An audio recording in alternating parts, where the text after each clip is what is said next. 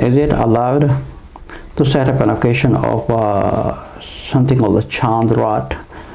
Assalamu alaikum warahmatullahi wabarakatuh. Bismillah ar-Rahim. there is no con there is no concept of a Chand Raat according to the Sunnah, and they, we do not find uh, the sources. But what is basically a Chand Raat? We can change the words and think of something of uh, uh, spreading of fahish because what happens on the Chand Raat? That's like a really night of um, of Eid al-Fitr or you can say uh, Eid al-Adha. That's called a Chand Raat because when the new moon comes out and uh, people have a setup of stalls and shopping markets and all that. And uh, if we see back into our countries the boys and the girls the young generation especially in the in the brothers they go on the chand raat looking for girls and trying to interact with them.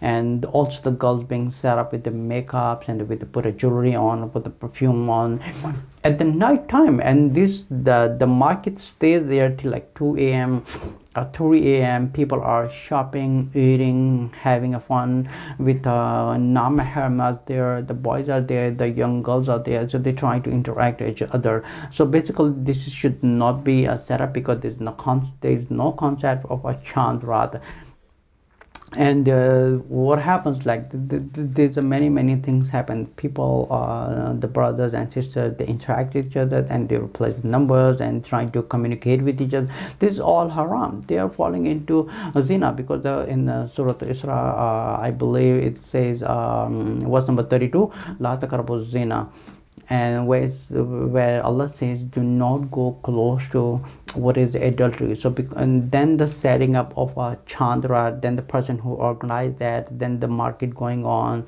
and everything is going on this should not be permitted. The sisters are not supposed to be going out and the brothers are not supposed to be going out on the chand raat because that is basically something like a fahash because whatever they can do they can do uh, before the before the Eid al-Fitr. But what is the purpose of going there the mostly this problem is in sisters because they go uh, fully makeup up and uh, fully set up and they're wearing a jewelry perfumes going for shopping in the middle of a night at, at the midnight 12 o'clock 1 o'clock walking around in the market.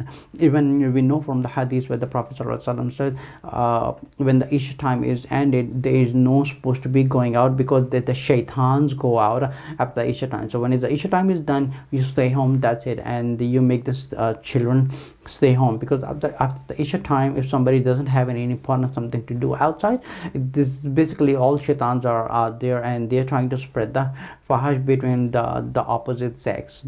So the sisters are mostly are being asked to stay home because there are no use of going out. And this is really um, bad situation that the parents are going about them their father their brothers and everybody going out. So where we, we are like getting away from the islamic customs and we are getting into something which is like uh, like a hindu customs and uh, western culture people do that walking around in the middle of a night shopping around and doing these things. So we need to stay home. The chand raat concept doesn't exist and the organizers need to stop that and uh, and the sisters are not supposed to go out and also the brothers are not supposed to do that but rather they celebrate with their uh, Eid al-Fitr at home with their family